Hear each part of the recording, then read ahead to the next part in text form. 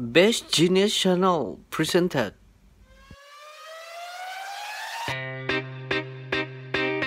เนี่ย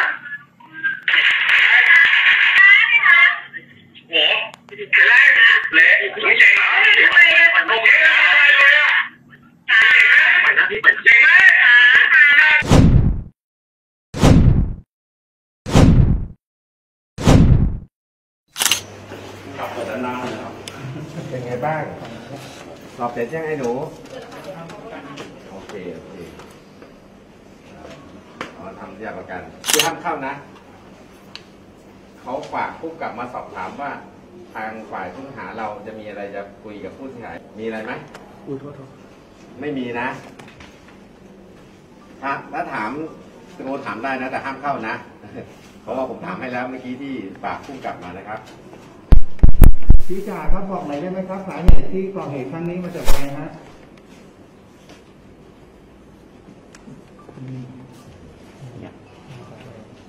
นี่เรียบร้อยยัง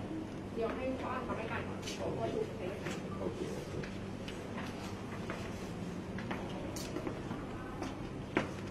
โอเคนะอันนี้เอ่อเขาไม่ให้การนะ โอเคนะครับ ขอบคุณครับนะขอบคุณครับ ขอบคุณครับ โอ้ใช่ใช่ใช่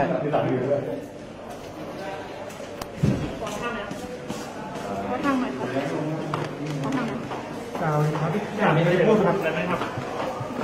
เดี๋ยวเดี๋ยตกครับเดี๋ยตกเดี๋ยวที่เราได้มีการทำร้ายร่างกายครับนี่คือเป็นเจตนาหรือว่าเป็นอารมณ์แค่อารมณ์ชั่ววูบครับพี่จะพู ดอะไรสักหน่อยครับ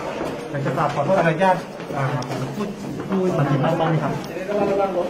มันเป็นเรื่องทะเลาะอะไรนะครับที่ที่ทำให้เราบันดาลโทสะเป็นขนาดนี้ครับที่ที่บอกว่ามันเป็นเรื่องที่เราทะเลาะกันมานานแล้วอะครับอยากจะบอกอะไรนะครับพี่สามารถพูดได้นะครับพี่โอเคคอยพูดได้ที่สารกับ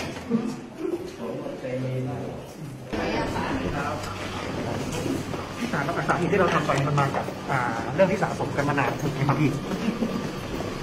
ที่สะสมที่บอกว่าทะเลาะกันมานานเรื่องอาบีแต่บ้างอะไรบ้างใช่ไหมครับพี่ถูกถูกไหมครับ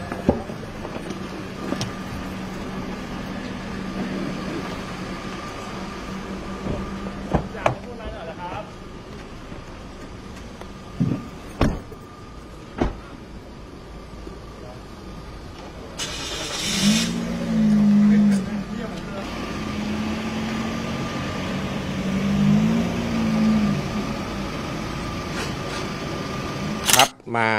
พบเมื่อประมาณสักครู่นี้นะครับมามาพบพร้อมนายทหารพระธรรมนูญครับตัวเขาเองมีท่าทีที่บอกกล่าวอะไรเราก่อนเข้าห้องสอบสวนไหมครับเอ่อผมได้สอบถามเขาเบื้องต้นนะฮะเอ่อว่าขณะเกิดเหตุเป็นยังไงรายละเอียดนะฮะก็ให้การเอ่อภาคเศษนะครับให้การภาคเศษเอ่อให้การภาคเศษตามคลิปวิดีโอนะยืนยันว่าเป็นตัวเองที่ได้เอ่อกระทำนะครับ ต่อหน้านายทหารพระธรรมนูญนะครับ ตอนนี้กำลังสอบปากคำเอ่อคือเขาให้การภาคเศษว่าว่าเขาเป็นคนทำอ่าใช่ฮะแล้วว่าก็เอ่อทำร้ายร่างกายเนี่ยจริง แต่มันอาจจะมีสาเหตุก่อนเกิดเหตุว่าทำไมถึงทำอะไรเงี้ยเล็กๆน้อยๆนะฮะเอ่อก็คงจะให้การเอ่อกับพนักงานสอบสวนอีกครั้งหนึ่งนะครับ เขาได้บอกถึงแรงจูงใจในการที่เขาปีนกำแพงเข้าไปต่อยเจ้าของบ้านนะครับส่วนหนึ่งก็บอกนะฮะว่าน่าจะมีสาเหตุกดเคืองกันมาก่อนเกิดเหตุ ไม่ใช่เพราะ บีบแต่อย่างเดียวนะฮะเบื้องต้นที่สอบถามนะฮะเเบื้องต้นได้ได้สอบถามแล้วเขาเงียบนะ ว่ารู้สึกยังไงที่การกระทำความผิด แล้วก็จะไปพูดคุยเขาบอกว่าเออกับคู่กรณีเนี่ยเขาน่าจะไปพูดคุยกันในเรื่องที่ได้รับบาดเจ็บอะไรเงี้ยในในเบื้องต้นนะฮะก็คงจะรับสภาพในส่วนที่ตัวเองกระทำความผิดหลังจากเกิดเหตุแล้วก็คล้ายๆว่า บันดาลโทสะควบคุมตัวเองไม่ได้เอ่อหลังจากที่ก่อนเกิดเหตุมันมีเรื่องกัน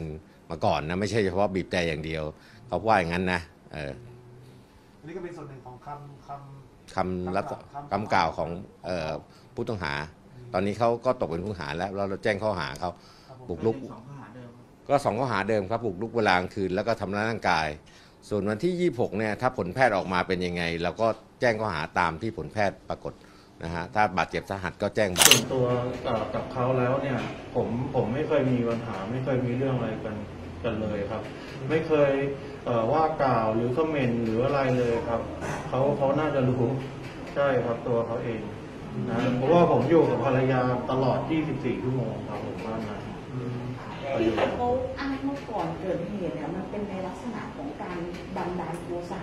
นั่นแหละลงมือก่อเหตุไปแล้วก็บุกเข้าไปในบ้านที่ อันนี้หนูอยากถามนิดนึงว่าก่อนเกิดเหตุเนี่ยมันมีไหมมันมีการแบบมีปากมีเสียงหรือว่ามีการทะกันข้ามอะไรกันไหมอะคะ